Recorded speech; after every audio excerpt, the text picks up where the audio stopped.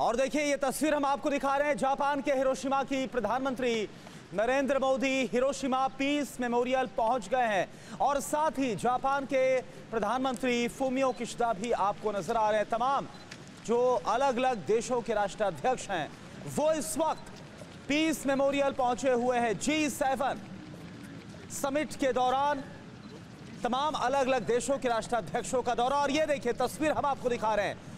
प्रधानमंत्री नरेंद्र मोदी जो आपको नज़र आ रहे हैं, जापान के हिरोशिमा पीस मेमोरियल पहुँच गए हैं। अगर पीस मेमोरियल की खासियत की बात की जाए तो आपको बता दें कि अगस्त 1945 में सेकेंड वर्ल्ड वॉर के दौरान, जब अमेरिका ने हिरोशिमा पर परमाणु बम गिराया था तो जो इमारत इस वक्त आपको नज़र आ रही है, यही इमारत है जो कि बच पाई थी, लेकिन हर तरफ़ हिरोशिमा में तबाही तबाही थी। एक हज़ार से ज़्यादा बेगुनाहों की मौत उस परमाणु हमले में हुई थी। जो लोग मारे गए, उन्हें श्रद्धांजलि देने के लिए और विश्व शांति की कामना के लिए। एक बार फिर से तमाम अलग अलग देशों के राष्ट्राध्यक्ष पहुँचे हुए हैं और प्रधानमंत्री नरेंद्र मोदी इस वक्त आपको नज़र आ रहे हैं, जो कि हिरोशिमा के पीस मेमोरियल पहुँचे हुए हैं। एटमी हमले में मारे गए। 1945 में जब जापान में हिरोशिमा और नागासाकी पर बम गिराए गए थे। एक बम हिरोशिमा में गिराया गया था। पूरा शहर तबाह हो गया था। पूरा शहर वीरान हो गया था। सिर्फ़ यही जो इमारत है, वो बच पाई थी। इसका स्ट्रक्चर था जो सिर्फ़ खड़ा हुआ था। और इसके बाद इसी इमारत को हिरोशिमा पीस मेमोरियल का नाम दिया गया। और विश्व शांति के लिए, विश्व शांति की कामना के लिए प्रधानमंत्री नरेंद्र मोदी इस वक्त पीस मेमोरियल पहुँचे हुए हैं। ये तस्वीर इस वक्त आपके सामने। प्रधानमंत्री के साथ जापान के प्रधानमंत्री फूमियो किशदा भी मौजूद हैं। एटमी हमले में जो लोग मारे गए, उन्हें श्रद्धांजलि देंगे प्रधानमंत्री नरेंद्र मोदी। ये आपको बता दें कि जी सेवन का ये दौरा प्रधानमंत्री के लिए बेहद ही खास रहा, क्योंकि देखिए, एक तो आज आखिरी दिन है, दूसरी बात अगर बीते दो दिन की बात की जाए और जो अलग अलग सेशंस हुए, उसमें प्रधानमंत्री की तरफ़ से किस तरह से इस दुनिया को आगे बढ़ना है, वो राह दिखाई गई। कैसे विश्व शांति को स्थापित करना ही होगा। आज के इस युग में कैसे युद्ध, कोई रास्ता नहीं है, कोई हल नहीं है। एक बार फिर से इस बात को दोहराया और कल की जो जेलेंस्की और प्रधानमंत्री मोदी की मुलाकात हुई, ये पूरी दुनिया ने देखी। आप देखिए एक बार फिर से ये तस्वीर प्रधानमंत्री नरेंद्र मोदी, जो कि उनके साथ फुमियो किश्दा मौजूद है। और साथ ही साथ जर्मन चांसलर ओलाफ शोल्स भी मौजूद है, जो कि साफ़ नज़र आ रहे हैं। और ये देखिए, तस्वीर आपके सामने आठ में हमें मारे गए लोगों को श्रद्धांजलि देते हुए, उन्हें याद करते हुए प्रधानमंत्री नरेंद्र मोदी।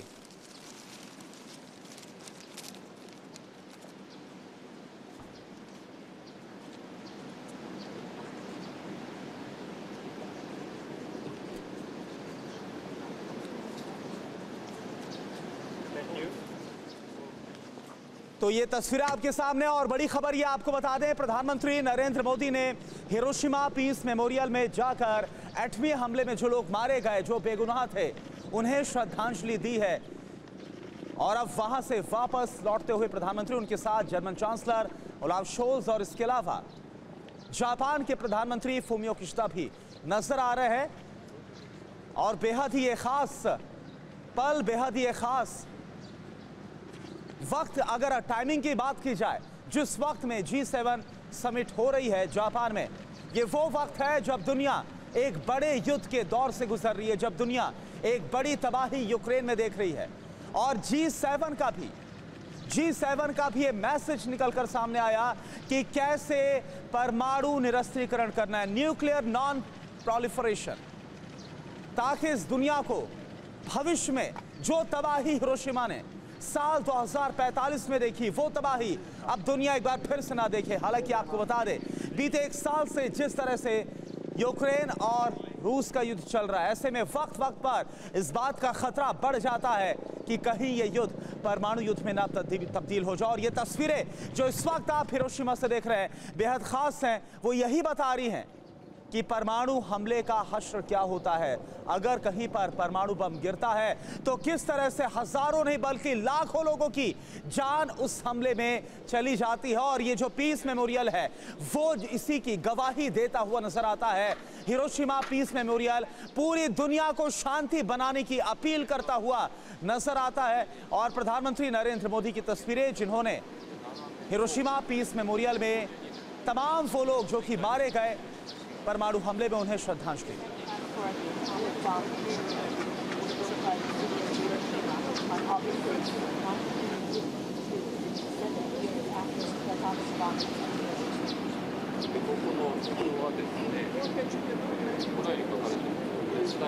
और अब देखिए प्रधानमंत्री नरेंद्र मोदी को पीस मेमोरियल के बारे में पूरी जानकारी दी जा रही है इस वक्त। दो तस्वीर इस वक्त हम आपको दिखा रहे हैं। एक तरफ़ प्रधानमंत्री नरेंद्र मोदी को पीस मेमोरियल के बारे में और क्या हुआ था, कैसे एक बड़ी त्रासदी हुई थी और किस तरह से इस पीस मेमोरियल को बनाया गया, उसकी एक एक जानकारी, उसकी एक एक बारीकी प्रधानमंत्री को बताते हुए वहाँ पर जो मौजूद डेलीगेशन है और खुद जापान के प्रधानमंत्री फोमियो किशदा जो मौजूद है, उनसे लगातार बात कर रहे हैं। और दूसरी तरफ़ जिस वक्त अलग अलग देशों के राष्ट्राध्यक्षों ने प्रधानमंत्री नरेंद्र मोदी ने श्रद्धांजलि दी, एटमी हमले मारे गए लोगों को वो तस्वीर भी इस वक्त हम आपको दिखा रहे थे दो तस्वीरें, एक बड़ा मैसेज, एक बड़ा संदेश पूरी दुनिया को देते हुए कि सिर्फ़ शांति स्थापित करना ही ज़रूरी है।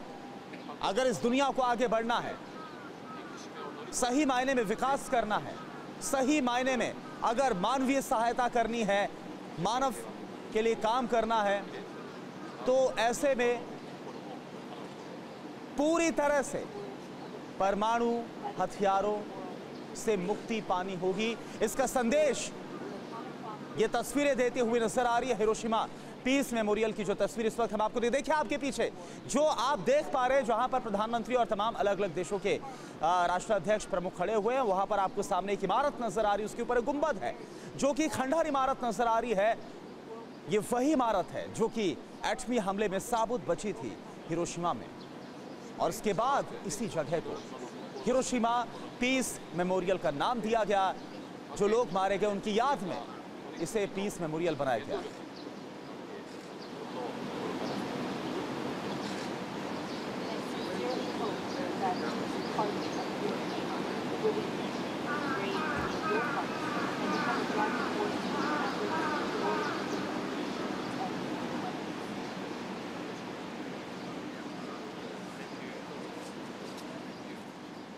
तो प्रधानमंत्री नरेंद्र मोदी, जो कि इस बात को समझते हुए और उन्हें जानकारी जो दी गई, पीस मेमोरियल के बारे में एक एक बात एक एक जानकारी और कैसी ये त्रासदी आई थी?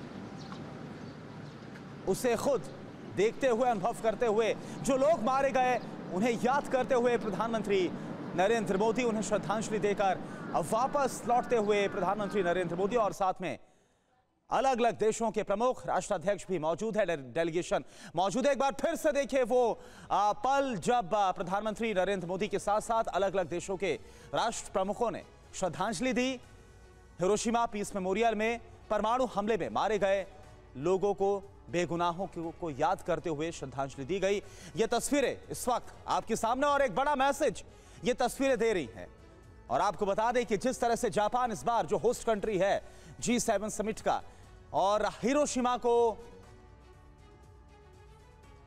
वो जगह बनाया गया, जहाँ पर जी सेवन के राष्ट्र प्रमुख आकर इकट्ठा हुए डेलीगेशन आया और साथ ही स्पेशल इनवाइटी देश भी आए। ये हिरोशिमा में ही जी सेवन का समिट होना यह अपने आप में खास मैसेज है। और हमने देखा कि पहले दिन भी अलग अलग देशों के राष्ट्र प्रमुख पहुँचे थे, हिरोशिमा पीस मेमोरियल और वहाँ पर जाकर श्रद्धांजलि दी थी। और ये मोटो भी साफ़ नज़र आता है, ये मकसद भी साफ़ नज़र आता है कि कैसे युद्ध के दौर का खात्मा ही एकमात्र उपाय है, एकमात्र रास्ता है एकमात्र चारा है। अगर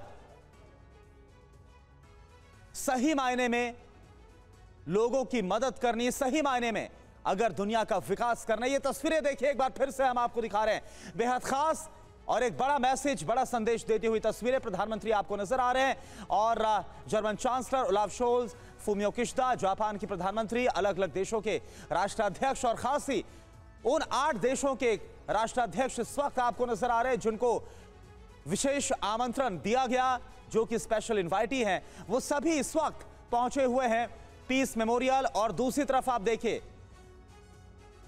सभी देशों के जो लोग, जो डेलीगेशन वहाँ पर पहुँचा हुआ है और साथ ही जो राष्ट्राध्यक्ष वहाँ पर पहुँचे हुए हैं, उन्हें ब्रीफ करते हुए खुद फूमियो किशदा पीस मेमोरियल के बारे में बताते हुए खुद फूमियो किशदा जापान के प्रधानमंत्री। ये दो तस्वीरें बेहद खास, जो कि बता रही हैं कि कैसी त्रासदी झेली थी हिरोशिमा ने, कैसी त्रासदी हिरोशिमा नागासाकी ने झेली थी। अगस्त 1945 में जब हमला हुआ था, अमेरिका की तरफ़ से हमला किया गया था। हालाँकि वो बात अलग है, जब पहले दिन यहाँ पर हमने देखा कि जी सेवन कंट्रीज़ के तमाम राष्ट्र प्रमुख पहुँचे थे, उसमें जो बाइडेन भी अमेरिकी राष्ट्रपति पहुँचे थे। लेकिन परमाणु हमले को लेकर खेद जताने से इंकार किया गया था।